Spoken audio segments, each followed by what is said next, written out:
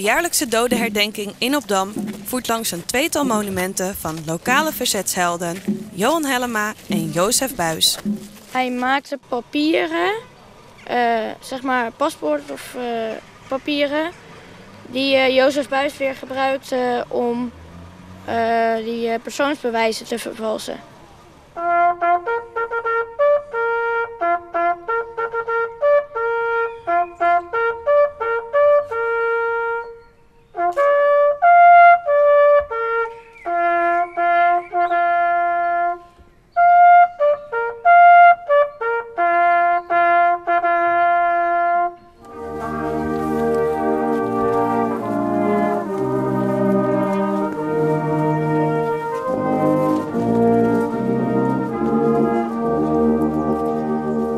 Herdenken blijft nog steeds belangrijk.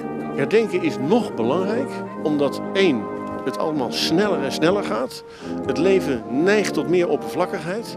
En het erom gaat om de echte dingen in het leven, om die waarde van die echte dingen in het leven vast te houden. Het gaat om mensenlevens, het gaat om mensengeluk. En dat is van immens belang. En dat immense belang, daar moeten we altijd aan blijven denken.